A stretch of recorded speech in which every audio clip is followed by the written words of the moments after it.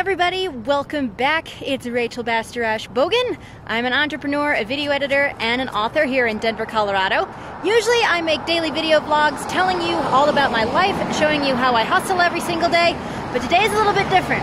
If you saw my video from day 100, you know that I've been taking a little bit of time off, but I promised you a video on Wednesday. Well, here it is. However, unlike my normal videos that I do, this is something really special.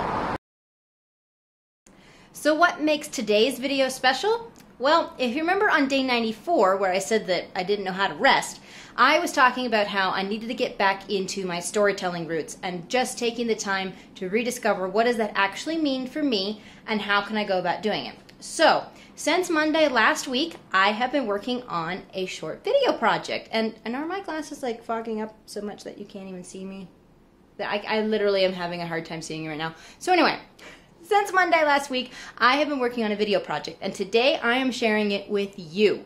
You guys are going to be the first ones to see this. I would love for you guys to let me know what you think. I'm really excited about this. It's been a lot of fun to work on. It's been a lot of fun to put together and research and produce. So this is for you guys. I hope you guys like it. If you do, leave me a comment below. Um, and if you have suggestions, go ahead and leave those below too. So here we go. Roll camera. We use this device every single day. Matter of fact, we kind of take it for granted. It's not your phone, your computer, or even the internet. I'm talking about the thing you type with. Yeah, your keyboard. In the US and most English speaking countries, we use a QWERTY keyboard. In case you haven't figured it out, QWERTY is the first six letters at the top left of the alphabet layout. Right? Mind blown. If you've ever spent five minutes hunting for the X key, you probably wondered who mixed up the alphabet.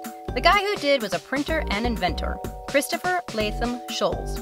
Yep, you can blame him. People have been blaming him for almost 150 years.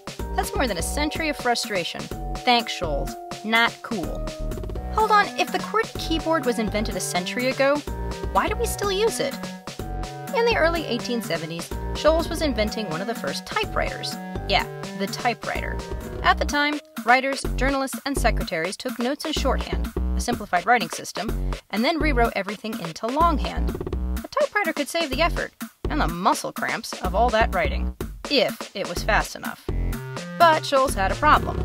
His machines were slow, clumsy, and the gears and type got jammed. So much for saving time. So Sholes decided to mix up the location of the keys. If they weren't in alphabetical order, then the type couldn't jam. His solution? The QWERTY keyboard. It worked, and by 1873, Sholes sold the patent to his typewriter to a manufacturer for mass production. The typewriter hit the mainstream at the end of the 19th century. For a hundred years, we typed with QWERTY. In the 1980s, QWERTY stuck around as desktop computers replaced the typewriter. And at the beginning of the 21st century, smartphones and tablets inherited QWERTY keyboards too. Sholes' typewriter is gone, but QWERTY remains. We use it to program code, write status updates, and send our moms text messages. I'm sure Sholes didn't mean to leave behind QWERTY, but he did, and it changed the world. Not bad for a keyboard that's almost 150 years old.